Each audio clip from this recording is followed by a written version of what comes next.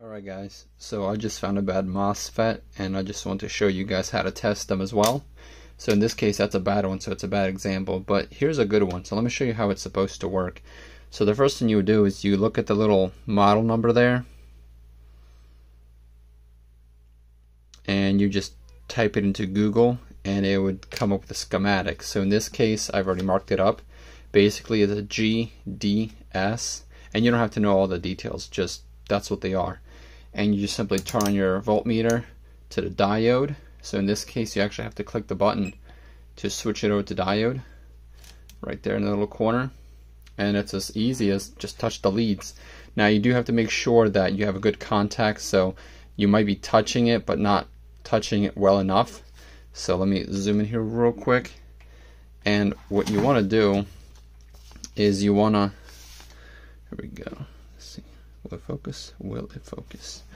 What you want to do is don't touch the top because that's part of one of the conductors. So you just touch on top and you touch your red red dial, red lead on one side and you scratch it and on your right side.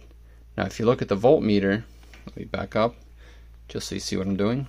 So if you look at the voltmeter, when I do this, I'm getting a reading. Now when you reverse it, I should get nothing. So see, nothing. This way you get a reading. Reverse it, nothing. Now if you go back to where you were, and you touch this one, and you come right back, now you're getting something. Reverse it, and you touch it over here, and you come back, now you got that. So now, no matter what you do, you always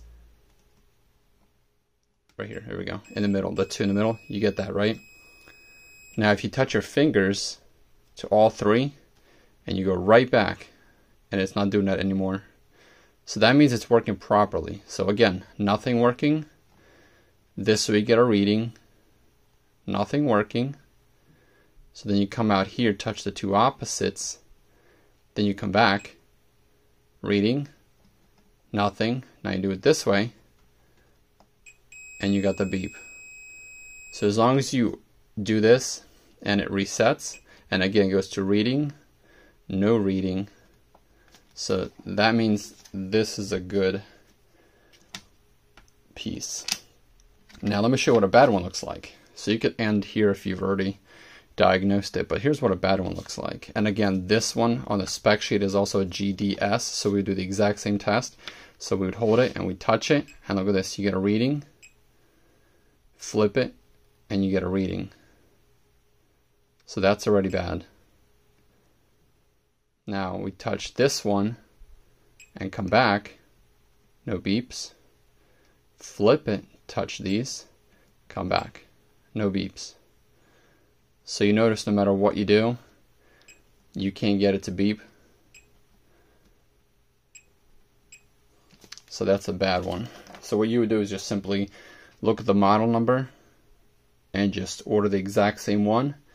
And in my case, that's what's needed here. So you just solder it in. Very simple solder. When these are brand new, they just slide right in. The pins come out of the bottom. You bend the little pins over, throw a little solder on them, and you're done.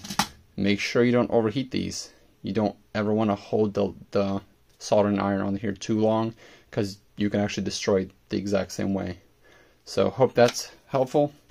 If you guys like that, please give me a thumbs up. And if you have any other questions, just send me a message down below. Thanks for watching.